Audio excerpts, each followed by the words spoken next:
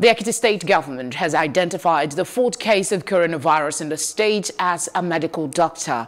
The government said on Tuesday that the medical doctor was working with a private clinic before contracting the virus while treating the third index case, a 29-year-old pregnant woman.